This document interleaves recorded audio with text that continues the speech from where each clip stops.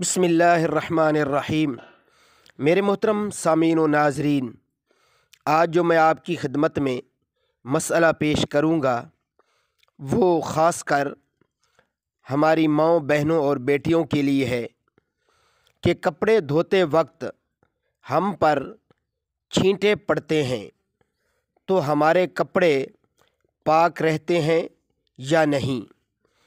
तो मेरे मोहतरम सामीन व नाजरीन इस मसला का जवाब आप खूब अच्छी तरह जहन नशीन फरमा लें कि कपड़े अगर नापाक हों तो छींटे भी नापाक होंगे।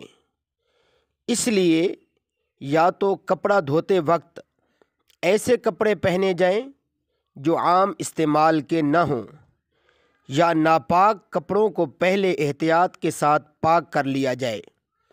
जिसका तरीका ये है जितनी जगह नजासत लगी है, इसको तीन बार धो दिया जाए। तो फिर इस तरह, इस सूरत में हमने जो कपड़े पहने हुए होते हैं, वो पाक रह सकते हैं।